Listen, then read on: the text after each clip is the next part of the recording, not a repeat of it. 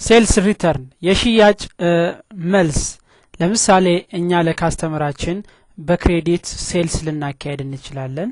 በዚህን ጊዜ customer አችን በተለያየ መንገድ ወይም በተለያየ መልኩ ለእኛ ሊመልስልን ይችላል። ለምሳሌ እቃውን ባይፈልገው ወይም warranty ኑሮት damage ካረገበት በተለያየ መልኩ እቃውን ለእኛ ሊመልስ ይችላል።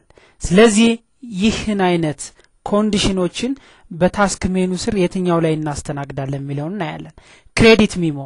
credit memo ጥቅሙ ምንድን ነው ለምሳሌ customer አችን return ቢኖረው sales return ቢኖረው እንዴት return እናደርጋለን? ያን return እንዴት እንሰራለን የሚለውን እናያለን ማለት ነው። sales return ላይ ስንሰራ መጀመሪያ ስንሸጥ እንደሚታወቀው inventory ይቀንሳል cost of sales ይጨምራል በ credit ከሸጥን account receivable ይጨምራል income አችንም ይጨምራል። በዚህን ጊዜ እቃው በሚመለስበት ጊዜ እነዚህ በሙሉ ምን ይሆናሉ ማለት ነው? reverse ይሆናሉ reverse ይሆናሉ።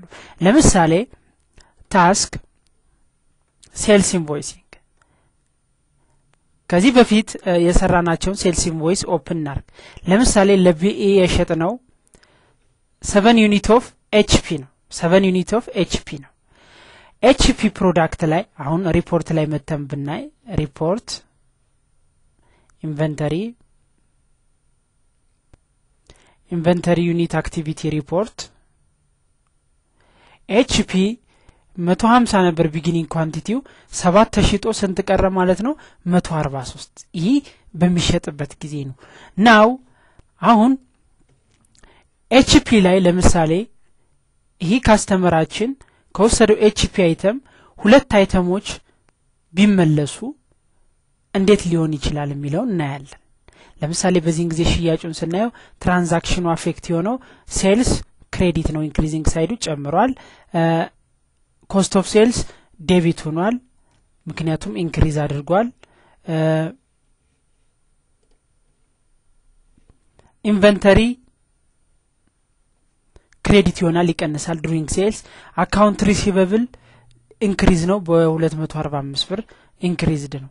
አሁን እዚህ ላይ ለምሳሌ VAT include አላረግንም።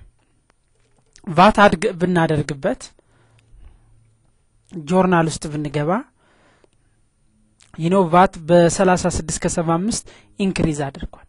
ይህ በሚመለስበት ጊዜ እዚህ ላይ አሁን ሁለት quantity ዎች በሚመለሱበት ጊዜ በዚህ total amount transaction ኡ እንዳለ reverse ይሆናል ማለት ነው። transaction ኡ እንዳለ reverse ይሆናል። let's see how to reverse it እንዴት reverse እንደሚያደርግ እናየዋለን ማለት ነው። ያን ለማድረግ task credit memo task credit memo እዚህ ላይ መጣን። ለምሳሌ ለቢኢ ነው ያደረግነው። ቢ ላይ ስንመጣ apply to sales invoice የነበሩ invoice ኦች ናቸው. አሁን በዜሮ ዜሮ ሰላሳ አራት ነበር ሰባት quantity of HP የተሸጠው።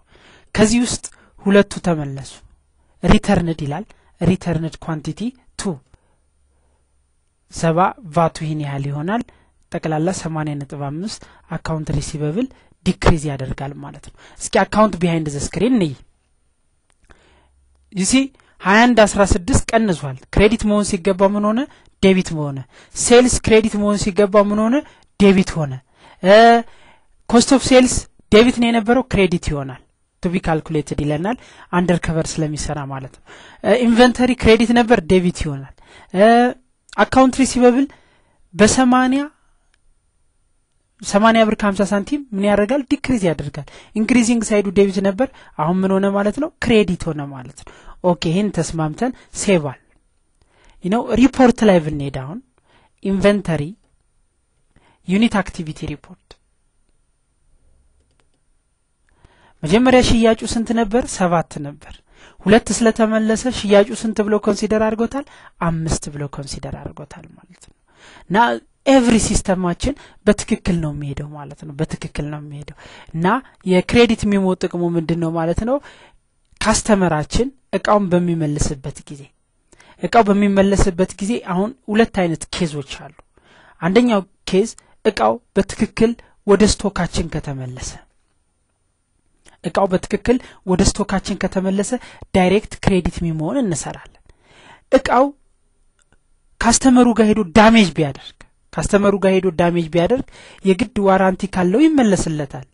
ይህ ደግሞ አሰራሩ ተመሳሳይ ሆኖ በዚህ መልኩ የሚያልፍ ሆኖ ግን ሌላ advanced ነገር እንጠቀማለን። ይህን መጨረሻ ላይ inventory adjustment ከተማርን በኋላ ይህን ነገር discuss እናደርግበታለን። credit memo የሚያገለግለው ምንድን ነው አንድ እቃ ይኖራል እንሸጠዋለን። ከሸጥነው በኋላ customer አችን ቢመልሰው በምን መልኩ transaction ኦችን reverse እናደርጋለን? credit memo ውስጥ ገብተን reverse እናደርጋለን ማለት